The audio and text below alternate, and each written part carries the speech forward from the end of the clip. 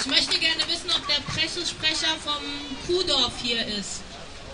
Ja? Geschäftsführer ist da. Dankeschön. Hallo, mein Name ist Thorsten Wieske, ich bin der Geschäftsführer vom Kuhdorf Berlin. Ich möchte hier die uneingeschränkte Solidarität zu Jimmy äußern. Das Kuhdorf ist ein Pool von Menschen aus vielen, vielen Nationen. Bei uns arbeiten Menschen aus Afrika, aus Asien, aus Russland, aus Amerika. Bei uns ist kein Platz für Rassismus und dafür stehe ich auch. Ich selber bin auch bei den Grünen. Ich selber äh, habe äh, Toleranz gelernt. Ich komme nämlich aus Kreuzberg, Neukölln. Ich bin da groß geworden. Ich war in der Otto-Hanover-Schule. Ich weiß ganz genau, wie das ist.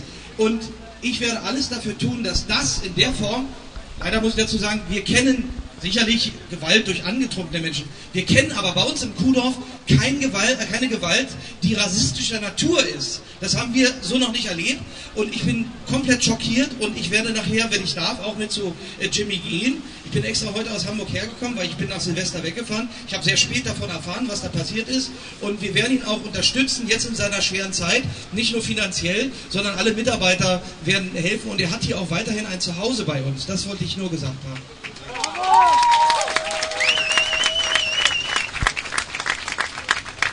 Vielleicht könnten Sie, wo Sie hier sind, uns noch kurz erklären. Im Berliner Kurier stand, dass ähm, die Polizei erst von der Feuerwehr gerufen worden ist und nicht von Ihrer Seite. Vielleicht könnten Sie da kurz Dazu möchte ich Stellung nehmen. Ich habe meinen Betriebsleiter gefragt, ich habe die Security extra angerufen, weil ich habe das auch gesehen im, in der Abendschau, was da gesagt wurde.